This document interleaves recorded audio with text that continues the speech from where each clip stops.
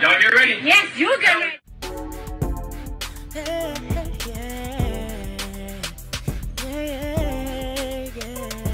If you want the latest news in the streets, join us and tune in for the tea. Breaking news with integrity. So tell your friends and your family. It's the Lovelyti TV show. Bringing you good tea and good vibes. It's the Lovelyti TV show. Be sure to share, like, and subscribe. Hey, tea sippers, happy Sunday. So, we only have a few days until the official numbers are out with who the new president of the United States will be. But before then, there's been a lot of celebrities coming out and endorsing Kamala Harris. We've had Beyonce, LeBron James, Jennifer Lopez, and many others. But right now, currently, Cardi B is trending because if you guys do not know, this past Friday, she was in Milwaukee at the presidential rally and she was there to basically talk about her criticisms of Donald Trump and also big up Kamala Harris. And I really enjoyed watching her up there. If you guys do not know, Cardi B definitely loves politics and she loves speaking on politics. So they invited her to speak. A lot of people were kind of upset because she was talking off of her phone, but she later on explained why she was using her phone. And that was because she wanted to make sure that she did not forget anything that she had to say at that rally. Check this out. I work so hard, bro. I work so hard on my speech. Um, and a lot of y'all talking about like, oh, why are you reading it from a phone? Bitch, I had to write that shit down because I had to make. Bitch, I'm 32 years old, bitch, and I and I have three kids. My mind be fucking raising all goddamn day, bitch. Like it's like sometimes you, sometimes, bitch, I be fucking, I be arguing on the on, on my shower, like fucking rehearsing what I'm gonna tell niggas when I see them. And you know what? I forget what I be telling them. I'm like, damn, I was in the fucking shower for 30 minutes. I was gonna say to this motherfucker, but you know what? Then when I be in face to face, I be forgetting. So you know, when it comes to this shit right here, I been knew what I've been wanting to say, but I had to make sure I ain't forget. So I wrote that shit the fuck down. I, y'all gonna hear what the fuck I had to say. And I'm proud of myself. All right, so you guys just heard the explanation of why she was on her phone. So I want to go ahead and play you guys um, what she said during the rally, her speech. I thought her speech was well put together. It came from the heart, and she gave it in a way that only Cardi B can give it. So y'all go ahead and check this out. Hold on, hold on, hold on. How you guys doing tonight? How you guys doing tonight? Are we ready to make history? To make history? Are we ready to change these four years? No. Are we ready to change the next eight years? Because we're going to make sure we have Kamala Harris in office for eight years. Thank you. All right. Vice President Kamala Harris, thank you for having me. I do not take lightly the call to show up, the call to speak up, the call to deliver a message that's been on my heart for a hot minute now. Now, I took my time writing this speech, so I'm gonna make sure I deliver it right. Because I got something I've been wanting to say for a long time. I've been saying it on Twitter, on my Instagram, and I'm ready to tell it to you now. Y'all ready to listen? All right, now. All right. Just like Kamala Harris, I too have been the underdog. I've been underestimated. My success belittled and discredited. Let me tell you something. Let me tell y'all something. Women have to work 10 times harder, perform 10 times better, and still people question us how we got to the top. They be like, how she got there? Hold on, let me get, let me, let me warm up. Yeah. Let me tell you something. I can't stand a bully. But just like Kamala, I always stand up to one. All the time, I'm ready for them. Yeah. And I'm gonna be real with y'all. I wasn't gonna vote this year. I wasn't. But Kamala with Harris joining the race, she changed my mind completely. I did not have faith on any candidates until she joined the race and said the things that I wanted to hear, that I want to see next in this country. All right? I believe in every word that comes out of her mouth She's passionate, she's compassionate, she shows empathy, and most of all, she is not delusional. Yeah. Yeah. Kamala recognized that this country is at risk, that the economy needs to get stronger, that the cost of food and the cost of living is too high. Damn, it's even high for me. I believe her when she says, under her, buying eggs and milk won't break the bank because she's gonna pass a ban on price gouging on groceries. And she told me that in my face. So she better not lie to me in my face. Yeah. I believe her when she says she will make housing more affordable by providing Americans with $25,000 in down payment assistance. Yeah, yeah. Hold on. I got more. Yeah. Yeah, she's promising a lot. And I believe her when she says she will provide a tax cut to 100 million middle class Americans. That's a lot of Americans. And that includes $6,000 for parents in the first year of child's life. Y'all remember when they used to do that? Y'all remember when this country used to do that? Yeah. And speaking of healthcare, let's talk about it. Let's talk about healthcare. Did you hear what Donald Trump said the other day? Y'all heard what he said? All right, I'm gonna tell you right now. Let me get let me drink my water.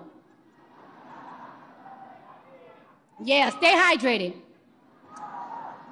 He said he's gonna protect women whether they like it or not. He said he's gonna protect women whether they like it or not. I'm repeating it.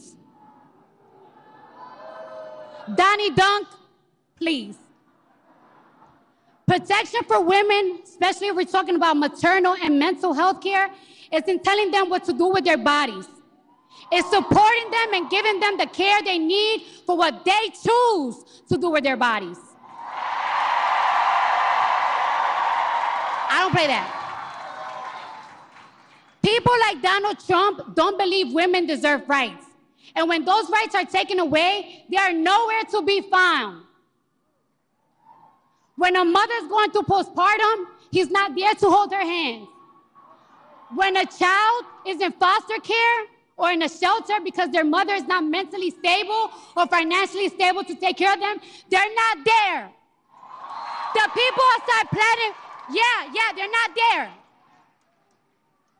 They're all gone. Those people outside Planned Parenthood screaming at women's faces, they don't be there when women go through stuff. They don't.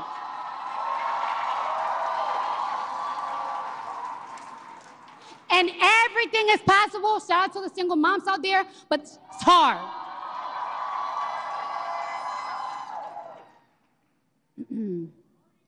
Trump says he's going to protect women whether they like it or not. Well, if his, if his definition of protection is not the freedom of choice, if his definition of protection is making sure our daughters have fewer rights than our mothers, then I don't want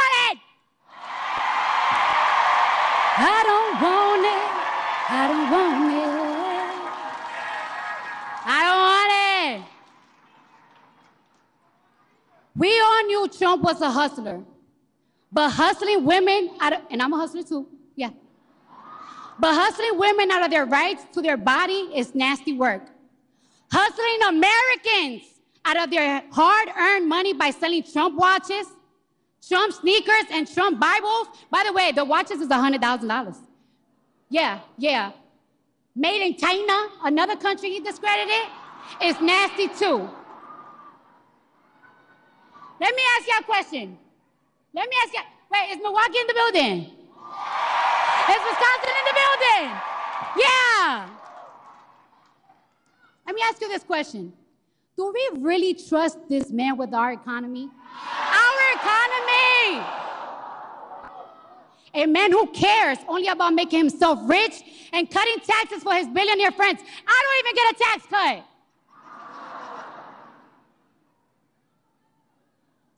Today is your wallet Tomorrow, he'll be conning you out of your health care rights. And that's a fact. I want you to hear that again. Today, he's hustling you with the, oh, buy my sneakers. Tomorrow is going to be your health care rights. He's going to take it away from you. He's going to snatch it. Donald Trump talks about how he has a concept of a plan, but America, the only concept of a plan he has is a plan to hustle you. Yeah. Because we know what he's really setting, setting us for. He's selling more than watches and sneakers. He's selling us bigotry, misogyny, division, chaos, and confusion. He wants us to hate each other.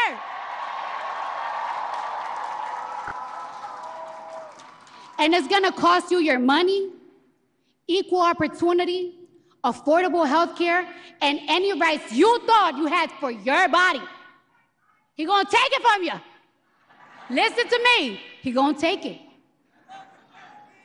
Thank you. I love you too. I'm not giving Donald Trump a second chance. No, nope. I'm not taking any chances with my future and not damn sure and taking no chances with the future of my children. All three of them. All three of them. I'm not giving him the chance. You're not giving him the chance. Yeah. I'm with Kamala. I believe in her.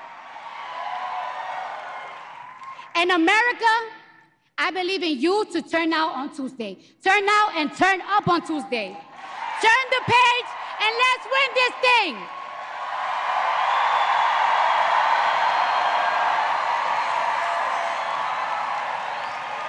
All right, so you guys just heard her speech. Now, of course, not everybody was too happy about it. And one person, aka Elon Musk, definitely felt the way. We know Elon Musk is a staunch Trump supporter, which is fine. Everybody has a right to support who they want to support in this presidential election. I've always said that. So somebody posts this um, video of Cardi B talking, and they say this Laugh my ass off. Cardi B's teleprompter was broken. She had no idea what to do for over a minute until somebody ran on the stage and gave her a phone to read off of.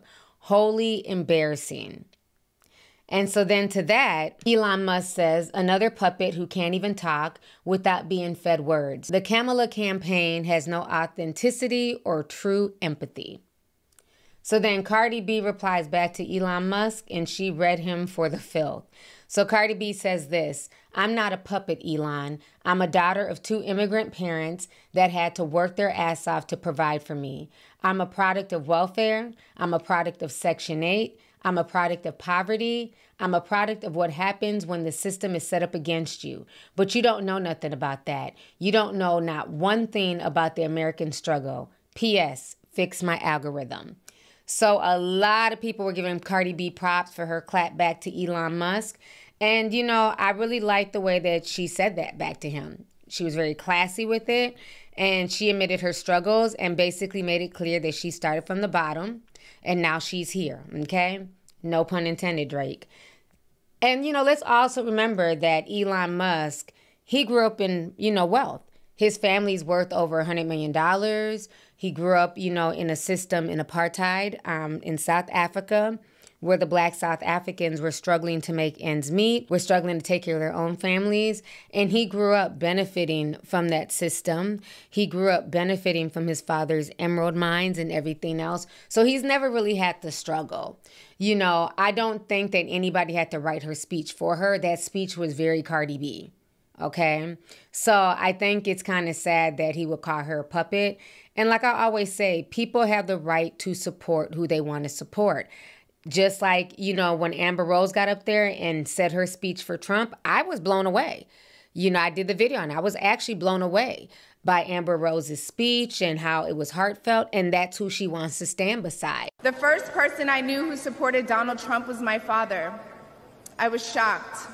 My entire family is racially diverse, and I believe the left wing propaganda that Donald Trump was a racist. I did my research and looked into all things Donald Trump.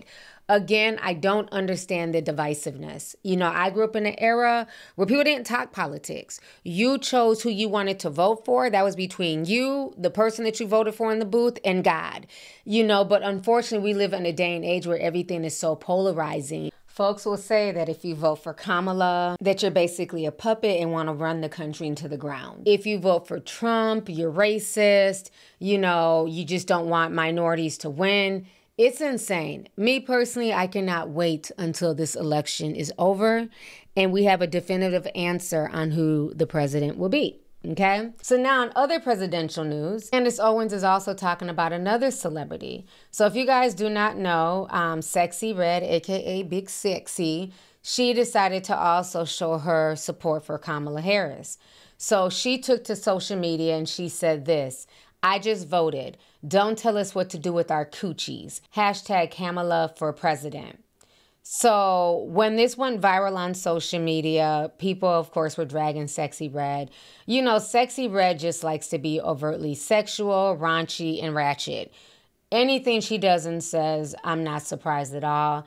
And it's kind of sad that that is the image that she wants to constantly perpetuate, you know, but it's to be expected. It's Sexyy Red.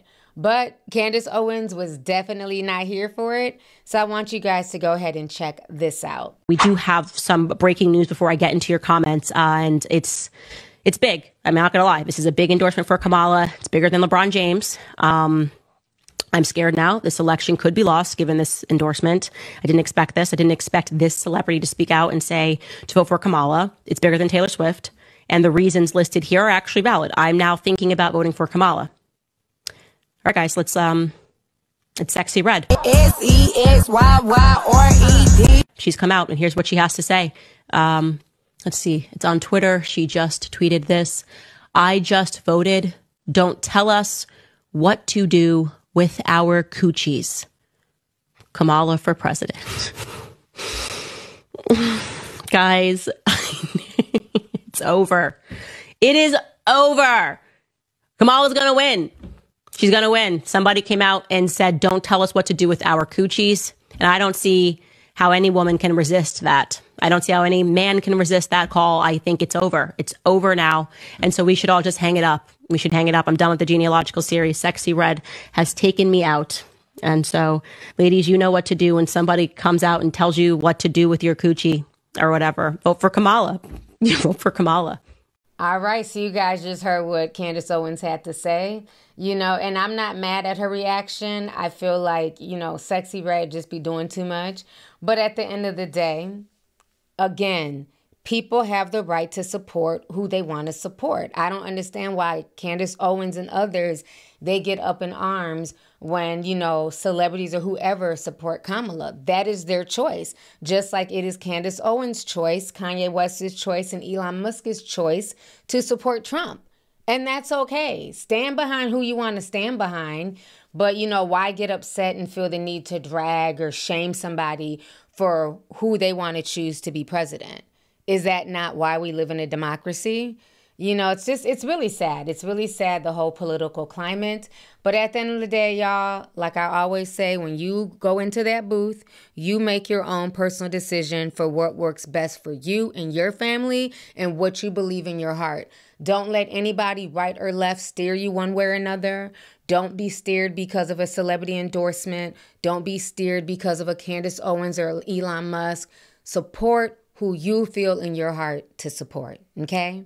So, with that being said, I look forward to reading y'all's comments down below. Let me know what you guys think about this story. How do y'all feel about Cardi B's speech and what she had to say and her support of Kamala Harris? How do you guys feel about the drama between her and Elon Musk? And then, last but not least, how do y'all feel about all the drama going on with Sexyy Red and Candace Owens being upset at Sexyy Red's endorsement of Kamala Harris? So, let's go ahead and get the discussion popping. I'll talk to y'all later. Enjoy your day. Deuces. If you want the latest news in the streets, join us and tune in for the tea. Breaking news with integrity. So tell your friends and your family. It's the Lovelyti TV Show. Bringing you good tea and good vibes. It's the Lovelyti TV Show. Be sure to share, like, and subscribe.